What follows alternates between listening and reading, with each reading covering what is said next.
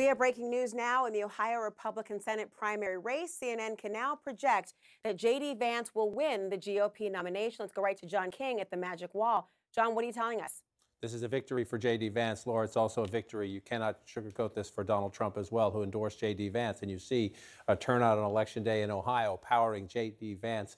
We have about 70% of the vote counted now. This lead has stretched over the last hour, stretched from 20,000 to 40,000 to 50,000, now just shy of 50,000. J.D. Vance with 31% of the vote. Josh Mandel, the former state treasurer, a very pro Trump candidate, but he did not get Trump's endorsement, running second to 24. The more establishment Republican, State Senator Matt Dolan, uh, was in the hunt early on, but he simply faded as J.D. Vance. See all these rural counties? This is J.D. Vance's color here. See all these rural counties up here? Just like Trump built it up in Ohio and ran away with the state against Joe Biden rural Ohio, not exclusively, but very much powering the math behind what we now project will be a J.D. Vance victory. And you just go in some of these counties. I'm just going to tap randomly here. Uh, you know, again, he's rel- relatively, relatively close in some of them, but you pick up several hundred votes in a small rural county like that. You move over here, you're picking up several hundred more votes here. This is how Donald Trump does it in small town and rural America, and J.D. Vance with the Trump endorsement doing it in Ohio tonight. Another place where if Matt Dolan, the more establishment candidate, was uh, to have an upset,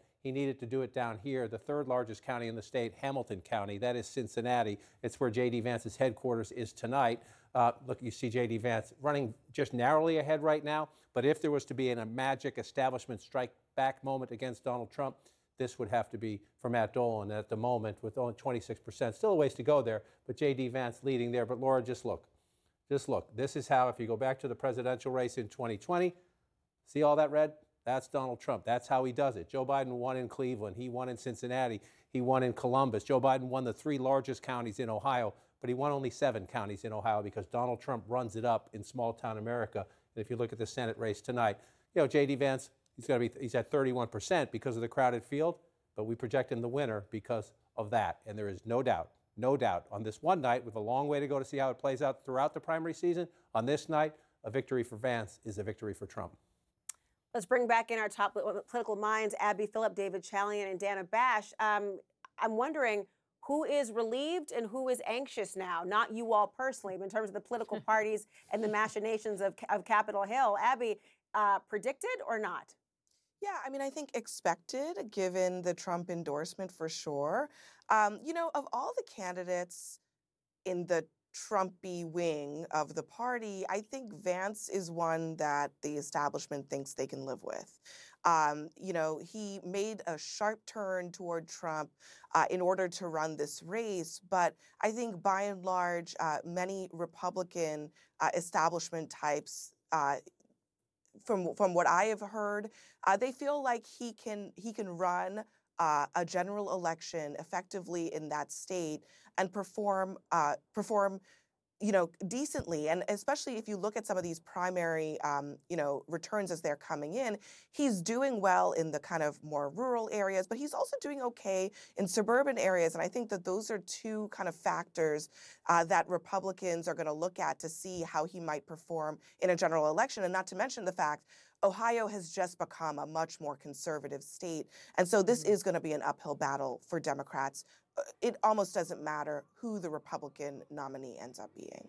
Dana, I hear you um, acknowledging it as well and, and echoing it that sentiment of how this would be able to maybe be extrapolated even beyond Ohio. What is this telling you in terms of the ability of Donald Trump to have endorsed a candidate to a successful primary victory, but also what it makes makes speak to other state primaries that are coming up? Is it a litmus test? I think we have to be careful because although the Republican Party nationally clearly is the base of it, the primary voters clearly do still support Donald Trump and Trumpism. Uh, each state is different. You just mm-hmm. showed that uh, that Ohio, in particular, John did. Ohio, in particular, has become much more red uh, in every way. Pennsylvania is a state that is coming up when this other uh, primary test will be out there, whether or not a Trump endorsed candidate, uh, Dr. Oz, will beat somebody who, or if there are a few candidates, but somebody who is more Republican establishment uh, in Dave McCormick. It's unclear, given that electorate, whether or not you will see the the same kind of um, dynamic that you saw tonight in Ohio.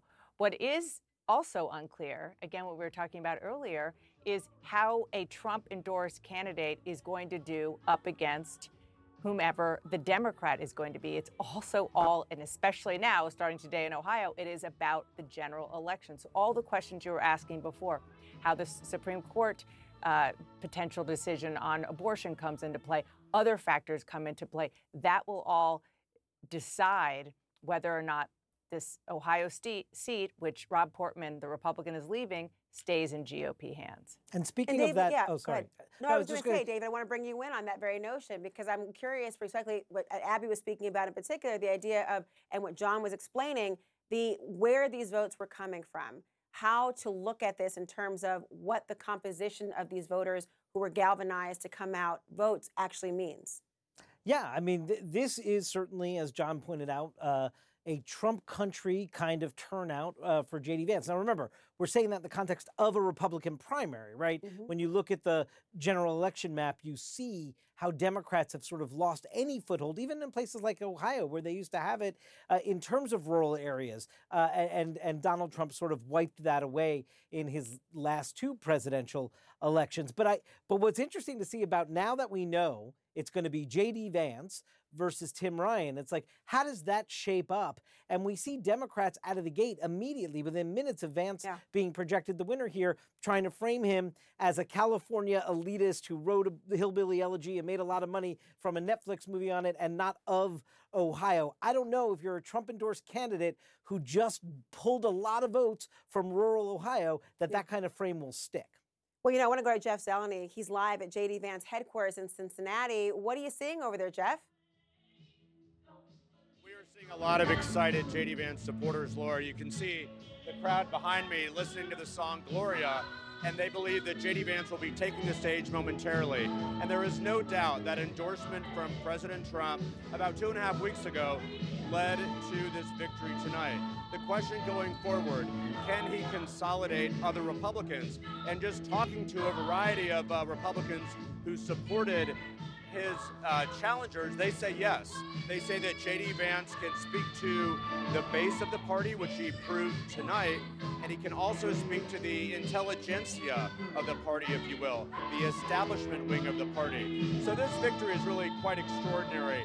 Uh, just about three weeks ago, he was near the bottom of the pack, and it was that endorsement uh, at a uh, at a rally in uh, Delaware County from, from the President Trump that did indeed give him the credibility to overcome all of uh, the doubters. But uh, what we are going to hear tonight, I'm told, is J.D. Vance trying to unify this Republican Party and immediately going after Tim Ryan. He will be trying to portray him as. Uh, simply uh, part of the Democratic Party, part of the Biden Party, he may say tonight. So clearly, this is a, uh, a large win for J.D. Vance in his first bid for public office. And this is going to be a test, but we do know Ohio is increasingly becoming a red state. So, will this be competitive uh, in the fall? It will be in the sense that Tim Ryan is a strong Democratic candidate, but this simply is a tough uphill battle for Democrats. They know that, Laura.